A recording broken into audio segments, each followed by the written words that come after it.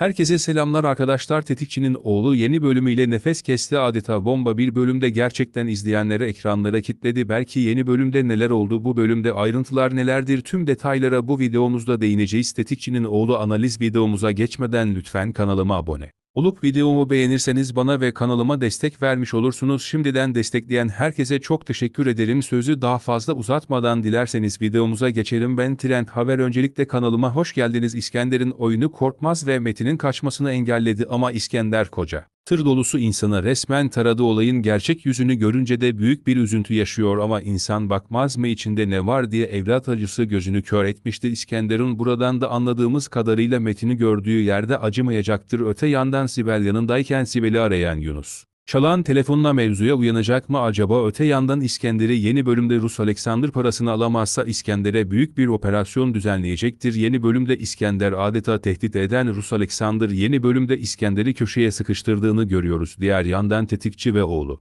Karadan kaçamayacaklarını anlayınca bu sefer havadan kaçmayı planlıyorlar. Helikopter getirten Korkmaz tam helikoptere binerken vuruluyor. Büyük ihtimal Sibel'i takip eden bir kişi tarafından vurulacaktır. Peki sizce Metin babasına öyle bırakıp helikoptere binecek mi fikir ve düşüncelerinizi? Yorumlar kısmında belirtebilirsiniz. Yorumlarınızı bekliyor olacağım arkadaşlar. Peki Tetikçi'nin oğlu dizisini severek takip ediyorsanız videoyu beğenerek sayımızı gösterebiliriz. Ayrıca bu tarz videoların devamı için bana destek olabilirsiniz. Her hafta Tetikçi'nin oğlu analizi gelsin istiyorsanız kanalı takipte kalın arkadaşlar. Bir sonraki Eğitedikçi'nin oğlu analiz videomuzda görüşmek üzere sağlıcakla kalın.